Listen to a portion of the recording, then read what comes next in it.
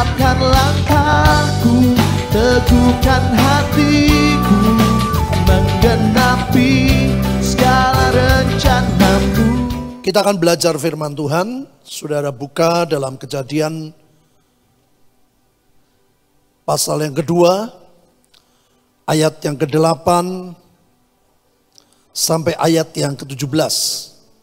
Judul dari perikopnya menarik sekali Bapak Ibu. Manusia dan Taman Eden. Nanti Bapak Ibu bisa melihat bahwa Tuhan itu sangat memperhatikan manusia. Ya. Tuhan menyediakan apa yang manusia tidak minta. Bahkan Tuhan memberikan saudara. Sesuatu untuk membahagiakan manusia. Kita baca. Selanjutnya Tuhan Allah membuat taman Eden. Taman di Eden. Di sebelah apa Bapak Ibu? Timur ya. Saya lihat dari awal penciptaan itu Tuhan tertarik dengan timur. Percayalah Indonesia di tempat yang paling timur dari Golden Gate ada rencana Allah yang luar biasa buat kita. Di situlah ditempatkannya manusia yang dibentuknya itu. Jadi sebetulnya manusia itu bukan sekedar diciptakan tapi dibentuk melalui tanah. Maka Tuhan Yesus bukan ciptaan saudara. Dia betul-betul dari Allah mengejawantah menjadi Tuhan Yesus.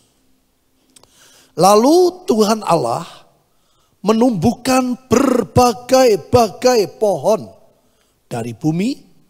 Perhatiin Bapak Ibu. Yang apa? Koma yang menarik. Dan yang baik untuk dimakan buahnya. Saudara bayangin. Tuhan itu mengatur demikian rupa supaya manusia itu betul-betul happy. Ya, yang diperlukan, yang mereka tidak minta disediakan Tuhan. Terus dan pohon kehidupan di tengah-tengah taman itu. Serta pohon pengetahuan tentang yang baik dan yang jahat. Ada suatu sungai mengalir dari Eden untuk membasahi taman itu. Ya. Karena taman kalau nggak ada airnya nggak bisa maksimal hijaunya, lebatnya dan buahnya. Tetapi dikatakan ajaib. Dan dari sungai itu terbagi menjadi empat cabang. Ya, Tuhan nggak pengen cuman Taman Eden untuk Adam dan Hawa, tapi juga dialirkan ke empat cabang. Yang pertama namanya Pison, yakni yang mengalir mengelilingi seluruh tanah Hawila, tempat emas ada. Dan emas dari negeri itu baik. Di sana ada damar, bedola, dan batu krisopras. Nama sungai yang kedua ialah Gihon, yakni yang mengalir mengelilingi sungai seluruh tanah Kus. Nama sungai yang ketiga ialah apa Bapak Ibu? Tigris, yakni mengalir di sebelah timur Asyur, ya timur lagi. Dan sungai yang keempat ialah Efrat. Tuhan Allah mengambil manusia itu dan menempatkannya dalam taman Eden. Bayangin Bapak Ibu. Taman yang indah, yang lengkap, semuanya tersedia untuk mengusahakan dan memelihara taman itu. Lalu Tuhan Allah memberi perintah ini kepada manusia. Semua pohon dalam taman itu boleh kau makan buahnya dengan bebas. Bayangin Bapak Ibu. Luar biasa hak yang Tuhan berikan pada manusia. Ayat 17. Tetapi pohon pengetahuan tentang yang baik dan yang jahat itu, janganlah kau makan buahnya. Sebab pada hari engkau memakannya, pastilah engkau mati. Sampai di sini. Bapak ibu saudara kita bisa melihat sebuah bukti nyata. ya. Bahwa Tuhan seperti lagu tadi. Betul-betul memikirkan manusia. Maka dari itu kenapa ada ayat berkata sebelum engkau meminta. Tuhan tahu kebutuhanmu. Janganlah engkau seperti orang yang tidak mengenal Allah kata Tuhan. Dengan kekhawatiranmu Bukan saudara memperpanjang umur, malah itu memperpendek. Jadi kalau Tuhan ngomong seperti itu saudara, itu tidak ngomong aspun, betul-betul beralasan. Dari pertama kali Tuhan menciptakan manusia, Adam dan Hawa. Manusia nggak minta apa-apa. Manusia tidak memikirkan apa yang diperlukan. Langsung Tuhan menyediakan taman. Dan Taman Eden itu lengkap Bapak Ibu. Pohonnya banyak, bermacam-macam. Buahnya banyak, bermacam-macam. Bahkan Tuhan memikirkan diberikan sungai supaya taman itu subur. Supaya manusia nggak terlalu repot, saudara, untuk mengurus. Karena Tuhan berkata, kamu usahakan ya, pelihara ya, semuanya sudah ada. Kalau saya bayangkan saudara, bagian Adam dan Hawa itu cuma pakai cedok, nyiram. Airnya sudah ada. Semuanya disediakan. Itulah Tuhan kepada manusia. Makanya saya katakan, dari semua yang diciptakan Tuhan, hanya manusia yang serupa dengan gambarnya. Hanya manusia yang begitu tertarik di hati Tuhan. Waktu Bapak berkata, mari kita menciptakan manusia serupa dengan gambarnya. Bapak, Putra, dan Roh Kudus menciptakan manusia serupa gambarnya. Makanya hanya manusia, saudara, yang punya roh, jiwa, dan tubuh. Lengkap. Betul-betul kalau manusia bahagia, Tuhannya bahagia. Itu saja. Begitu manusia menderita, Tuhan juga susah.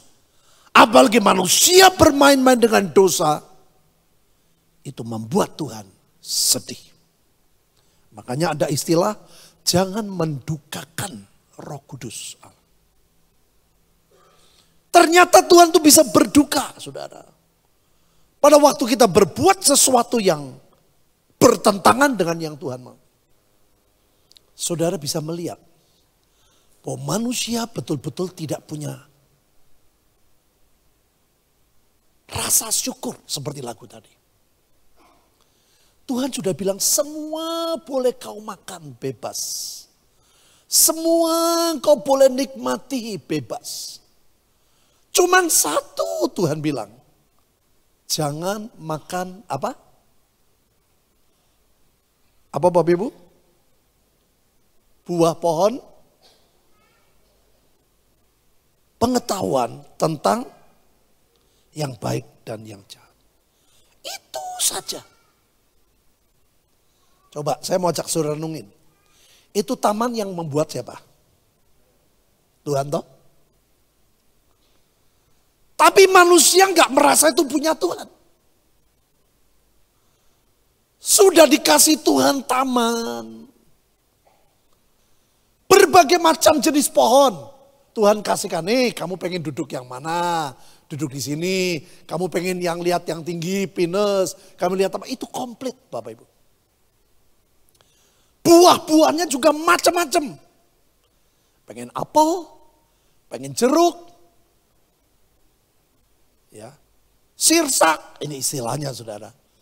Berbagai macam, bebas kata Tuhan. Tuhan hanya ngomong, jangan apa?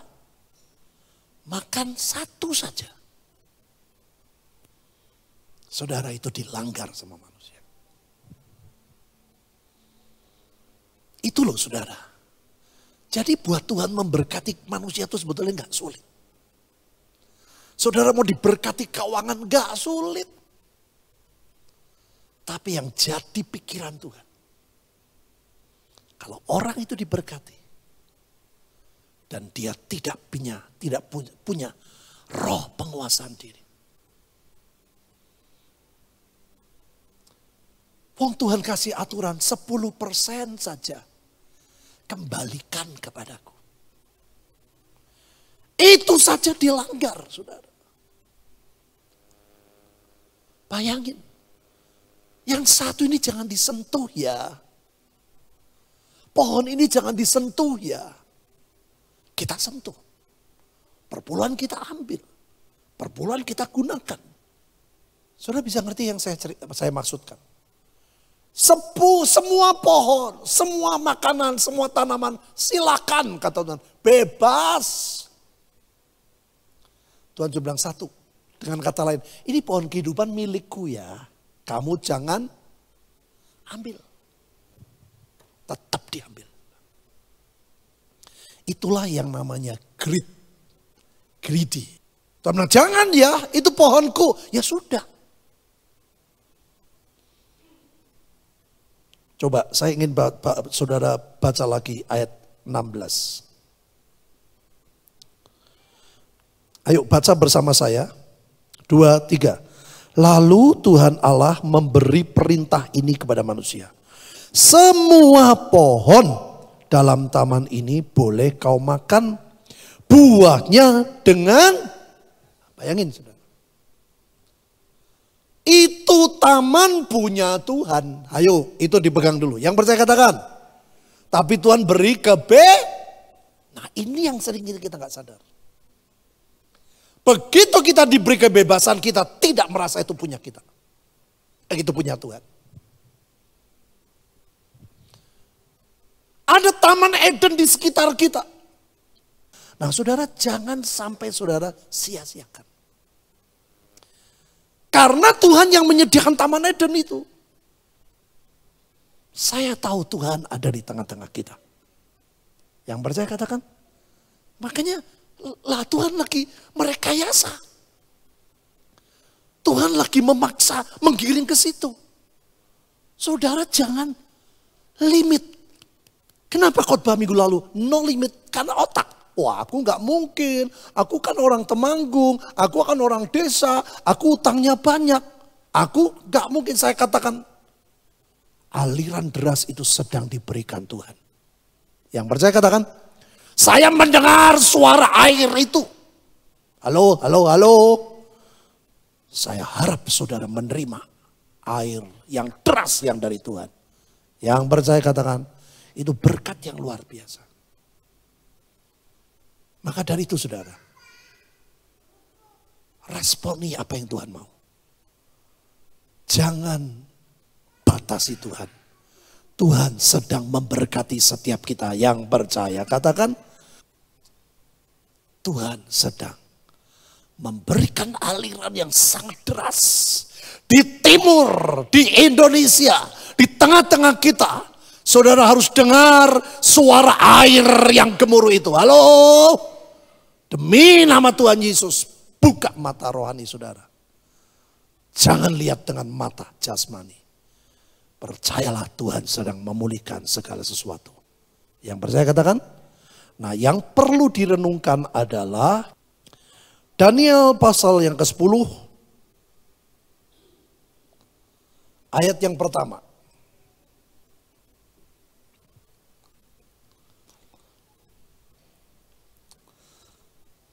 Ajaib sekali saudara. Ya. Dari empat sungai. Tuhan menyatakan diri kepada Daniel di tepi sungai apa Bapak Ibu? Tigris. Lihat, penglihatan Daniel di tepi sungai Tigris. Pada tahun ketiga pemerintahan Kores, Raja orang Persia suatu firman dinyatakan kepada Daniel yang diberi nama Belsasar. Firman itu benar. Dan mengenai apa Bapak Ibu? kesusahan yang besar.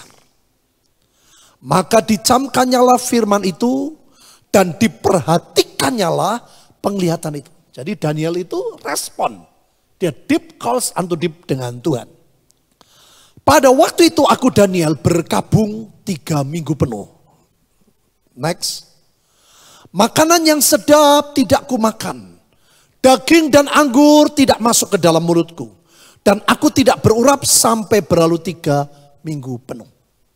Saudara, Tuhan memberitahu kepada Daniel bahwa akhir dari akhir zaman ada masa kesusahan besar. Itu yang kita sebut masa antikris. Jangan pikir tidak ada, pasti ada Bapak Ibu. Tetapi yang menarik di sini apa? Tuhan bicaranya di tepi sungai Tigris. Dari empat sungai yang dipilih sungai Tigris. Yang artinya percepatan. Yang artinya saudara dan saya harus berlari cepat. Kenapa saudara? Karena plannya Tuhan, rencananya Tuhan, itu mana dulu? masa pemulihan segala sesuatu, baru kesusahan besar, atau kesusahan besar dulu baru pemulihan segala sesuatu? Mana dulu? Eh? Pemulihan segala sesuatu dulu, sampai maksimal, pengangkatan baru kesusahan besar. Tuhan ingin saudara dan saya mengejar ketertinggalan. Tuhan ingin saudara dan saya berlari dengan kekuatan Tuhan dengan urapan tigris untuk menahan tuntutan si jahat bahwa harus ada masa kesusahan besar. Tanpa kekuatan tigris urapan Tuhan percepatan. Saudara bisa ketinggalan. Kalau masa anugerah kita tidak maksimal, kalau masa anugerah kita tidak responi, yang saudara dapat adalah adalah kesusahan. Sudah lihat pikiran Tuhan, sekali lagi pikiran Tuhan. Selalu membahagiakan manusia. Nikmati masa pemulihan. Rohani, jiwani, jiwa, eh, keluarga, jasmani, ekonomi. Yang saya katakan. Puncaknya diang, diangkat. Baru kesu. Tuhan ngomong, aku memberitahu. Firman ini benar akan pasti ada masa kesusahan besar. Itu sebabnya saudara. Hari-hari ini maksimalkan. Maksimalkan. Jangan, ah capek, ah males. Pemulihan, pemulihan, pemulihan. Pengangkatan baru kesusahan besar. Yang percaya katakan. Nah Tuhan beritahu sungai Tigris. Tuhan sengaja dari empat sungai dia pilihnya sungai Tigris. Dia temui Daniel. Dan Daniel luar biasa. Dia lihat penglihatan itu dia nggak ngerti. Sudah. Dan dia tahu cara untuk dia mengerti. Dia merendahkan diri. Orang tuh kalau manusia jasmaninya lemah. Manusia, manusia rohaninya bertumbuh. Puasa itu begitu artinya saudara. Terus ayat yang keempat. Ayat keempat, pada hari ke-24 bulan pertama ketika aku ada di tepi sungai besar, yakni sungai Tigris. Terus ayat 5, ku angkat mukaku, ku lihat tampak seorang yang berpakaian kain lenan dan berikat pinggang emas dari ufas. Siapa ini? Tuhan Yesus. Tubuhnya seperti permata tarsis, wajahnya seperti cahaya kilat, Matanya seperti sulu yang menyala-nyala. Lengan dan kakinya seperti kilau tembaga yang dikilap. Dan suara ucapannya seperti gaduh orang banyak. Terus. Hanya aku Daniel melihat penglihatan itu. Aneh gak saudara? Hanya aku Daniel melihat penglihatan itu. Tetapi orang-orang yang bersama-sama dengan aku tidak melihatnya. Tetapi mereka ditimpa oleh ketakutan yang besar. Sehingga mereka lari bersembunyi. Ini yang akan terjadi. Hanya orang tertentu yang berkata aku dengar derau hujan. Hanya orang tertentu yang berkata, aku dengar suara air bergemuruh. Halo? Tapi orang lain gak dengar. Masa susah kok. Ekonomi lagi gak gampang kok. Saya mau beritahu sudah. Percaya. Itu adalah kekuatan yang paling kuat untuk kita menerima semua mujizat. Yang percaya katakan. Kok di lain-lain aku gak dengar khotbah seperti ini. Saya mau beritahu. Ini masa puncak keemasan. Yang percaya katakan. Ayat 8. Ya, yang lain bersembunyi. Ngumpet yang gak ngerti apa-apa. 9 8. Demikianlah aku tinggal seorang diri. Ketika aku melihat penglihatan besar itu hilanglah kekuatanku. Aku menjadi pucat sama sekali dan tidak ada kekuatan padaku. Saudara, sesuatu yang ilahi itu mengerikan sebetulnya. Kayak zaman perjanjian baru, Ananias Safira bohong, menahan, habis. Ini yang paling bahaya. Tahun P ini harus betul-betul hati-hati. Terus, lalu ku dengar suara ucapannya dan ketika aku mendengar suara ucapannya, jatuh pingsan aku tertelungkup dengan mukaku ke tanah. Pingsan loh saudara, bisa bayangin. Itu daging itu nggak bisa tahan melihat sesuatu yang ilahi. Tetapi ada satu tangan, nah ini beda. Ada satu tangan menyentuh aku dan membuat aku bangun sambil bertumbuh pada lutut dan tanganku. Katanya kepadaku, Daniel, engkau orang yang dikasihi. Camkanlah firman yang kukatakan padamu, berdirilah pada kakimu, Sebab sekarang aku diutus kepadamu, ketika hal ini dikatakannya kepadaku, berdirilah aku dengan gemetar. Lalu katanya kepadaku, janganlah takut Daniel. Sebab telah didengarkan perkataanmu sejak hari pertama. Engkau berniat untuk mendapat pengertian tentang masa itu, sudah ada masa kesusahan besar. Dan untuk merendahkan dirimu di hadapan Allahmu. Dan aku datang oleh karena perkataanmu. Siapa ini? Saya mau tanya. Hah? Siapa? Malaikat siapa? Gabriel. Malaikat pembawa berita. Terus ayat yang ke-13. Eh, ini yang saudara harus sadari. Pemimpin kerajaan orang Persia itu berdiri 21 hari lamanya menentang aku. Tetapi kemudian Mikael, salah seorang dari pemimpin-pemimpin terkemuka, datang menolong aku, kata Gabriel. Dan aku meninggalkan dia di sana berhadapan dengan Saudara ternyata setiap kerajaan setan itu Lucifer memberikan wakil-wakilnya. Negara Persia ada penguasa roh jahat yang menguasai Persia. Dan Daniel mau ngerti ditutup saudara sama penguasa Persia. Gabriel mau datang memberi pengertian gak bisa. Karena setan tutupi. Terpaksa Gabriel perang.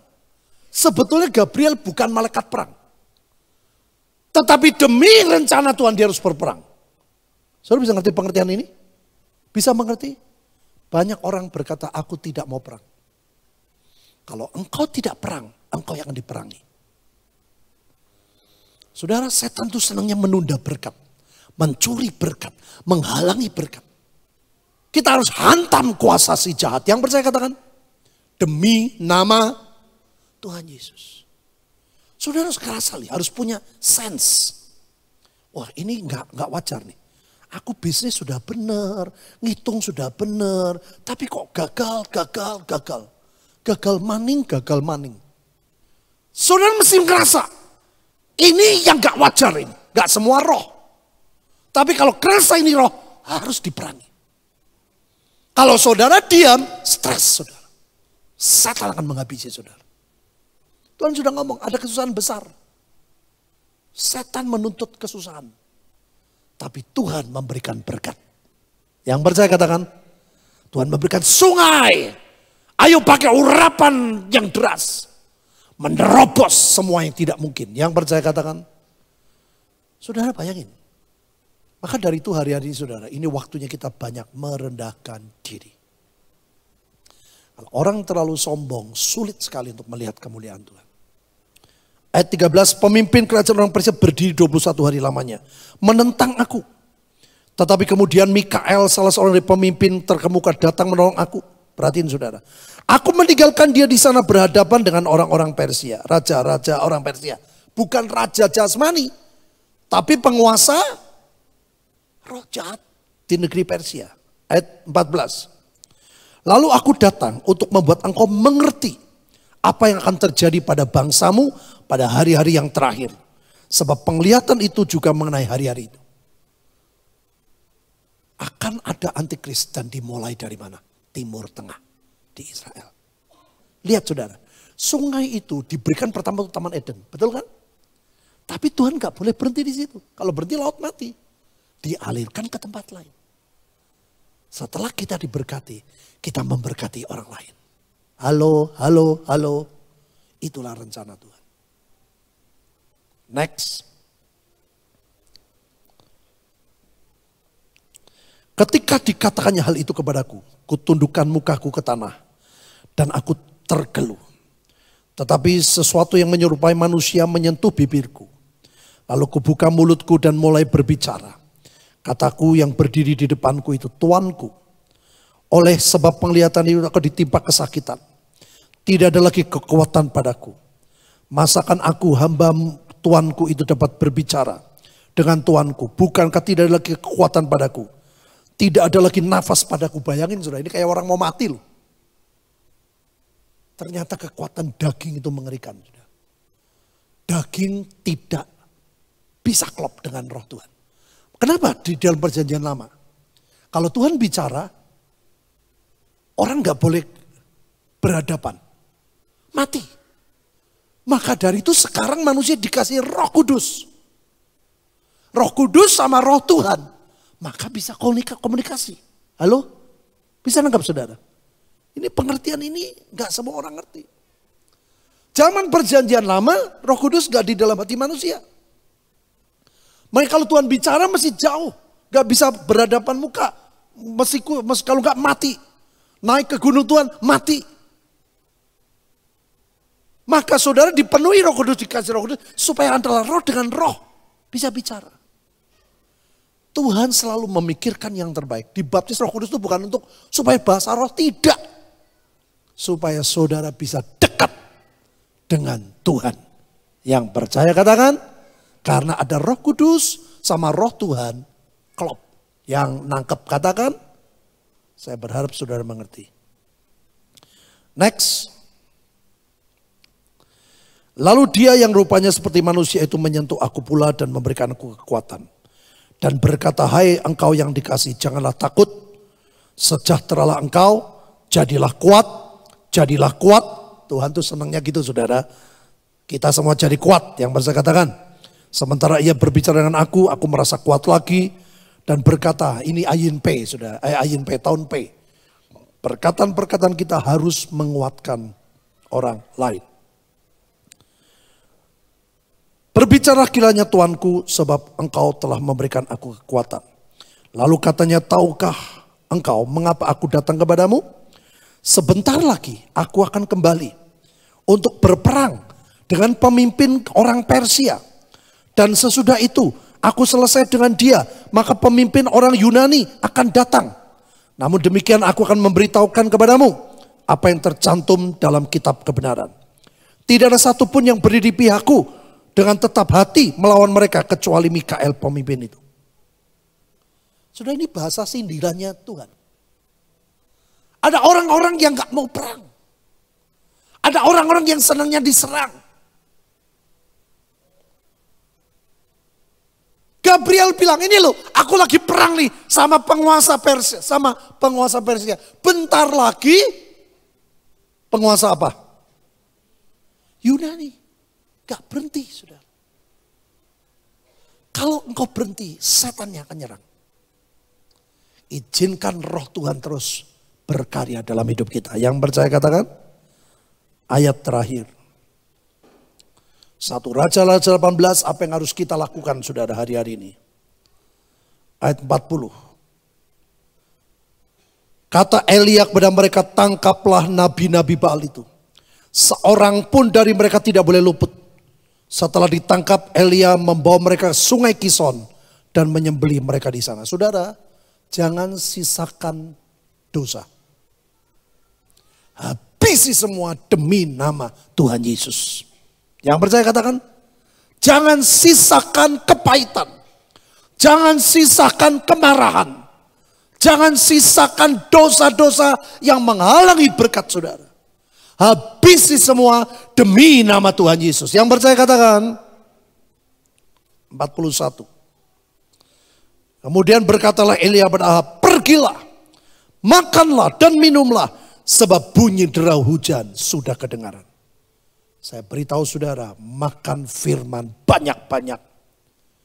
Minum hadirat Tuhan banyak-banyak. Yang percaya katakan, saudara sebulan sekali kita tuh doa 24 jam. Itu sebetulnya berkat yang luar biasa buat saudara. Karena yang ngomong sahabat Tuhan Cindy Jacob, dia nggak ngerti apa-apa. Dia ngomong Tuhan tuh suka doamu yang 24 jam. Orang pada bingung, tidak ada yang melakukan.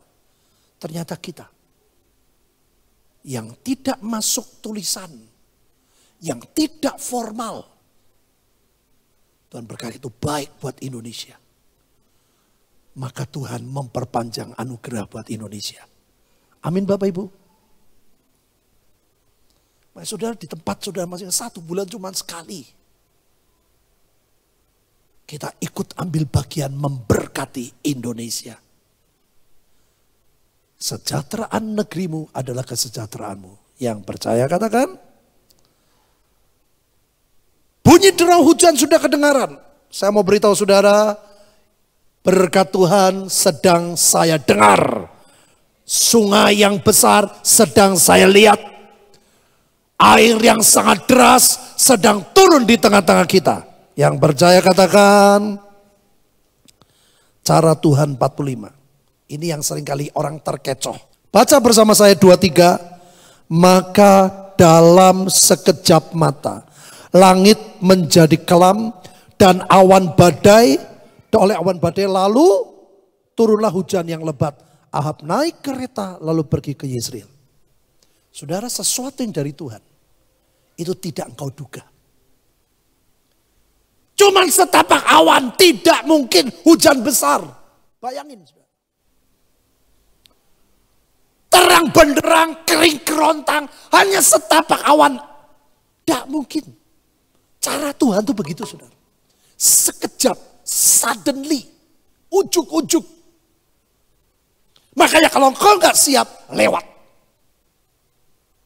Masa anugerah Tuhan lewat. Tuhan sudah ngomong kepada Ahab. Coba lihat ayat yang ke 44. Pada ketujuh kalinya berkatalah bujang itu, wah awan kecil sebesar telapak tangan timbul dari laut. Lalu kata Elia, pergilah, katakan pada Ahab, pasang keretamu, turunlah, jangan sampai kau terhalang oleh hujan. Sudah tahu, itu kalau Ahab gak cepat, hujan mereka sulit. Kenapa? Tanah di Kison itu lumpur. Sedangkan pakai kereta, keretanya besi, blesek sudah. Tuh bilang cepat. Hari-hari ini sudah mesti respon apa yang Tuhan mau. Percayalah firman yang gak mungkin gagal. Rencana Tuhan pasti terbaik buat setiap kita. Yang percaya katakan ayat 46 inilah yang harus kita lakukan. 46. Mari baca bersama. Dua, tiga. Tetapi kuasa Tuhan berlaku atas Elia. Ia mengikat pinggangnya dan berlari mendahului sampai ke jalan yang menuju Israel. Ayo saudara, Elia diganti nama kita. Yang percaya ya. Dua, tiga. Tetapi kuasa Tuhan berlaku atas Petrus Hadi. Ia mengikat pinggangnya dan berlari mendahului Ahab sampai ke jalan yang menuju Yisrael adalah tempat yang paling subur di Israel. Kita dibawa Tuhan ke tempat yang paling baik. Berkat yang terbaik sedang turun di tengah-tengah kita. Yang percaya katakan, mari pada. Tuntunlah hidupku, jalan bersamaku. Jangan pernah kau lepas.